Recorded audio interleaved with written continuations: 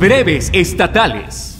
La tasa de desocupación en Puebla cayó entre octubre de 2015 y el pasado mes 0.4 puntos porcentuales al pasar de 3.5 a 3.1% de acuerdo a los últimos datos del Instituto Nacional de Estadística y Geografía INEGI. Por su parte, el gobierno de Veracruz debe hasta las tortillas que durante cinco años fueron enviadas a los centros de rehabilitación social. Acusan trabajadores de la tortillería Magnolia con la finalidad de robarle 15 mil pesos así como Alhajas, un médico fue asesinado durante la tarde del sábado de siete puñaladas en el poblado de Aztapa, allá en Tabasco, por un par de sujetos que llegaron a pedir información para el alquiler de una casa propiedad del Galeno. Hasta estos momentos los criminales no han sido detenidos. Para el punto crítico, Miguel Muñoz.